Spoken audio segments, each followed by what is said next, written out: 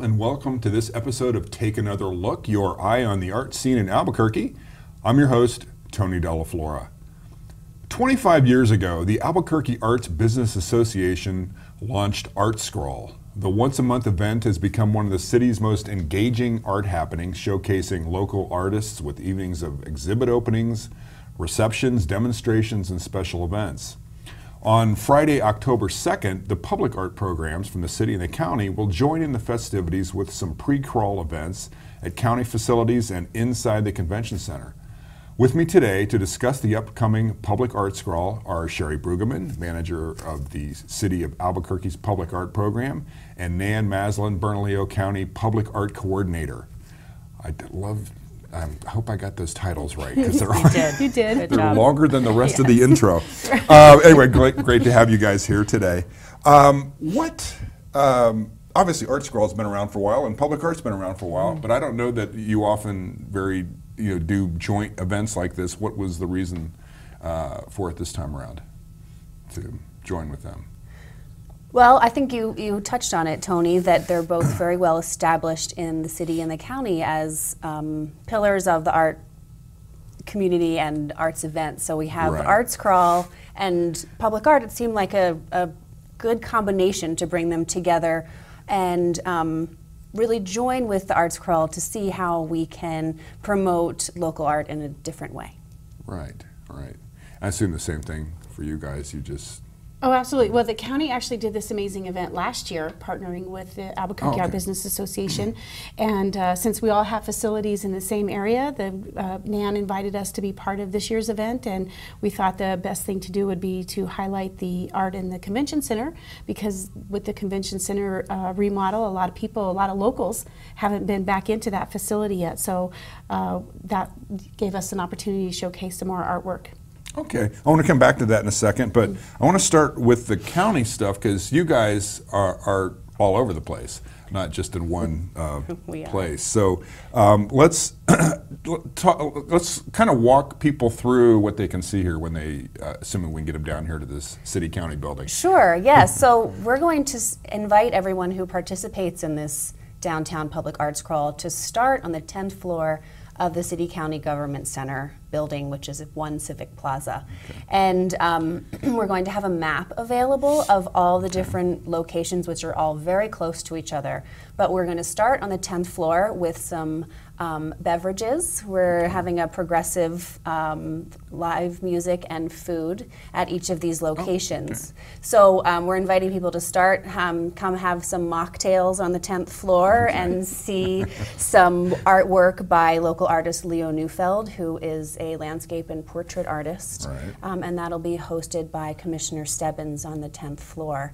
And then we're inviting people to go down to the sixth floor where they will see pieces from APS students and the probate's office and the clerk's office. And also we have some other existing public art in on those on both of those floors. Right, right.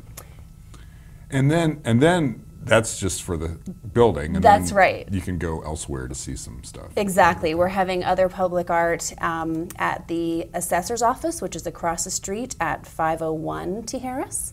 And then also we're highlighting two local arts nonprofit organizations at 415 Tijeras. And we will be having um, appetizers at both of those locations. And uh, Zach Freeman, who's, who does a cappella live looping, will be at 415 Tijeras doing his magical music. Okay.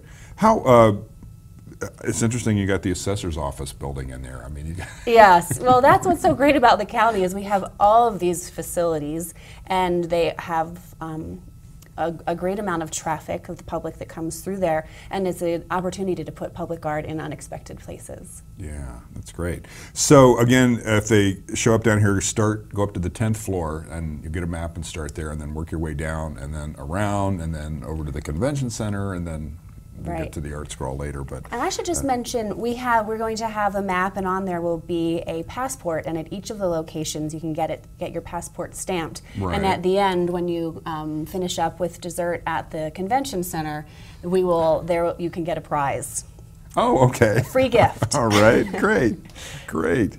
Um, well, Sherri, we mentioned the convention center. Um, first of all, you guys, that's going to be your new office over there. Tell me about that. Yes, it is. There's a little space. It's on uh, the south uh, west corner of the west complex of the convention center that faces Civic Plaza, and that will become the new public art program offices. And we hope to be moving in there in late October, uh, early November.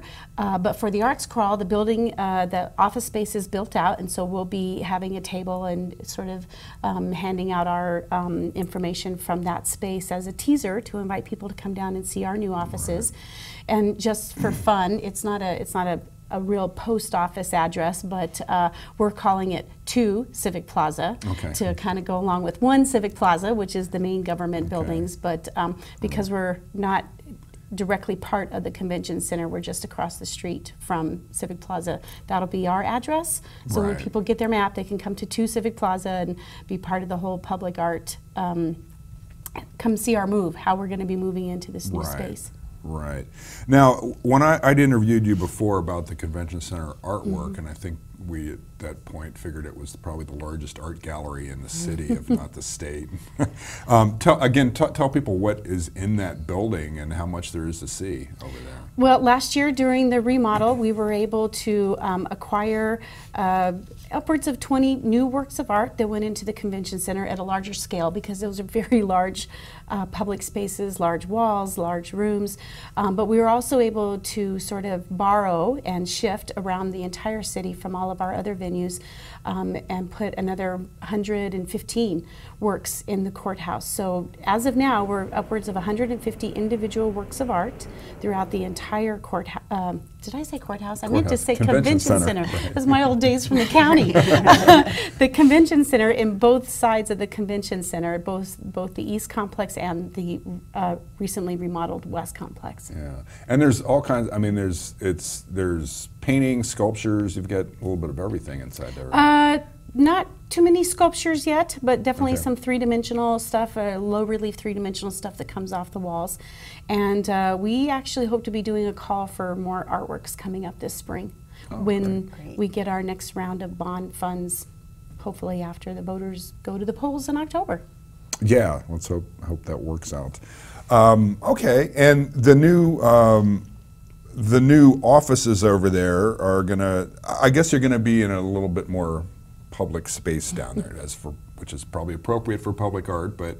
Um, it'll be easier for people to pop in and see what you guys are doing, I suppose. Absolutely. We're looking forward to being literally on the ground with the public right across from Civic Yeah. Plaza. Lots of great stuff going on in Civic Plaza these days, and so we look forward to having more of a presence there. But also, we'll be um, a little tiny bit of sort of a visitor center, welcome center for folks that are coming through and might want to know more about our city venues like the Botanic Gardens and the you know the entire biopark and art museum, balloon museum, all of our great facilities here in in the city, so we can help give them information and them to other great uh, cultural venues. Okay, great. Um, Nan, you had mentioned before about some of the uh, um, local nonprofit groups you're working with. Tell us about that. Yes, we are featuring two local arts programs. One is Working Classroom, and specifically we'll have artwork from a workshop this summer led by printmaker Karsten Kreitney. And he was trained at Tamarind, and he's now sharing his skills with students from Working Classroom. And so you'll be able to see his prints and his students' prints um, in this show. And then in addition, we're working with VSA North Fourth, and they're going to be having an exhibit um, titled The States of Autism by Peter Hirsch, and it's his interpretation of um, the US map. And in addition, we're going to have some other work as well. Okay, the state. what, what does the autism part have to Well, do with this it? is uh, very special arts focuses on um, arts programs for people with special needs. Okay. And so Right. um, I believe that Peter Hirsch has autism, and he he Oh. decided he looked at the the map of the United States and wanted to do his interpretation of it. Ah, and so there's okay, it won't be all 50 states, but it will be um, several of them have sh- previously sold. But the ones that he has, um, they'll be laid out in a grid, and um, they're really quite beautiful. They are images, they're watercolor and oil pastel relief. Oh, okay. All right. Great. And if I could jump in, our nonprofit partner for our Yeah. little uh, section is uh, the Mayor's Art Summer Institute group. Um, formerly part of Harwood, now spinning off on their own. Their organization is called ALMA, but they are the group of um, uh, artists who have been putting the ceramic tile around the facade of the Yes. convention center Right. for um, over a decade. I think they're going on their 14th or 15th year.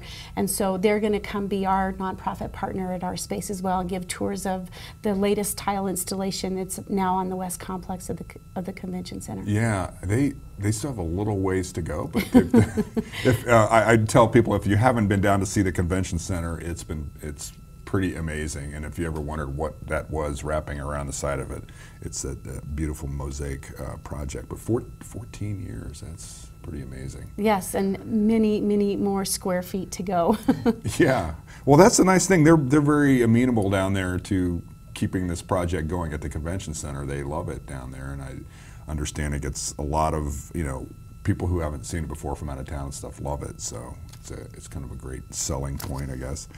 Um, let's talk about just we have just a couple minutes left, but I want to um, you know Arts Crawl itself is. Uh, an amazing event. Anything that lasts 25 years in this town, you figure, you know, is, is doing pretty well. yes. And this event coming up is actually a citywide uh, thing. But you were talking, you were telling me before how important that Arts Crawl is to the arts community here.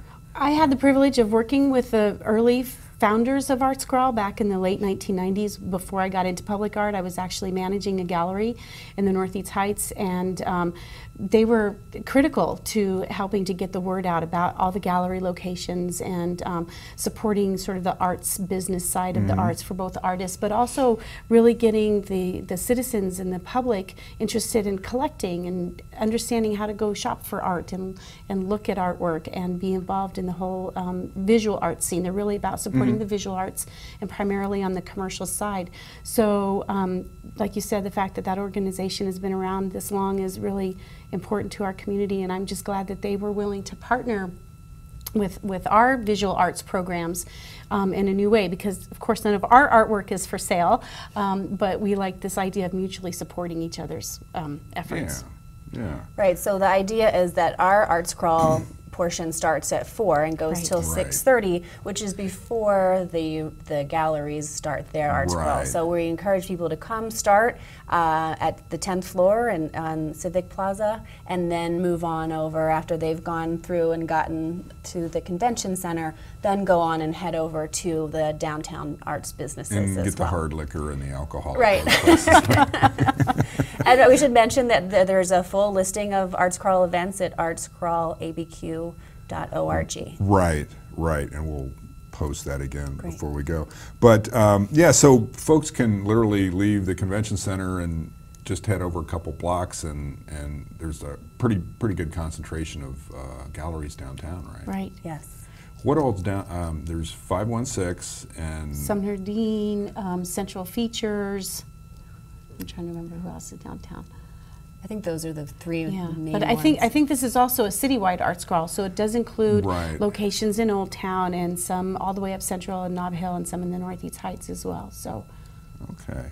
Well, um, yeah. So any any place you are in town, even if you don't make it down to the public arts crawl, which you should, um, you can you can hit someplace in another part of town. Old Town. There's a, an Old Town one, Northeast Heights, uh, Nob Hill, and of course downtown. So, um, and again, uh, Nan, if you would give us that uh, where to get more information on this. For more information, go to artscrawlabq.go. No, sorry. no, dot .org. Okay, artscrawlabq.org. Great, great. Well, I want to thank you guys uh, for being here today. Um, Nan Masland of the County Art Program and Sherri Brueggemann of the City's Art Program. And thank you for joining us on this episode of Take Another Look, and we'll see you next time. Thank you.